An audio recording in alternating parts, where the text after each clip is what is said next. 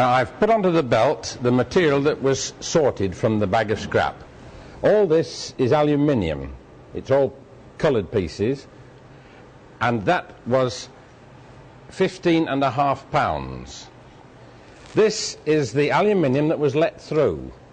This is one and a half pounds. The only bit of combustible material that went in with the scrap were just those tiny scraps.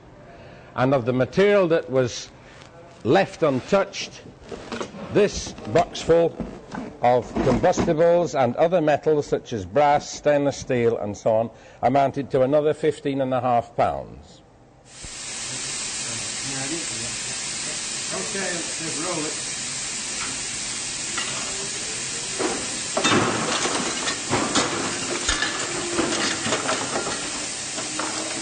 I hear the heavy metals and combustibles coming off. That bit of green aluminium got trapped behind a piece of stainless steel.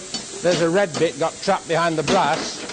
But other than those two pieces and a tiny bit of green, it was too small, everything that's coming off is not aluminium.